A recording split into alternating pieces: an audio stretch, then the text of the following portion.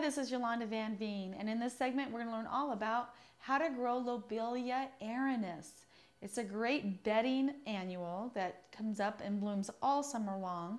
It's great in hanging baskets or along a wall or in a rock garden. Gorgeous purple flowers. It's just a beautiful plant that's from South Africa. So bedding lobelia or edging lobelia, lobelia erinus, is from South Africa. And it is a small, long flowering perennial and it's treated as an annual. So you can start them as a seeds in the spring, let them bloom all summer, and then just save the seeds and then plant them in the spring again. And they're only hardy from zones 9 to 11. So they will not make it in colder climates over the winter. But in warmer climates, you can leave them in the ground and they'll just come back and bloom all winter long as well. So they're dense mounds, so they grow very tight together.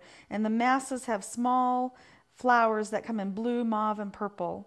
Lobelia really need full hot sun. They don't like shade at all. And they want good composted soil with good drainage. They'll drink a lot of water when they're in bloom, but they never want to dry out completely. And they never want to sit in water either because they'll rot. But you can start it from seed or even by division, and they'll grow and bloom so well for you. They're such a gorgeous addition to your garden.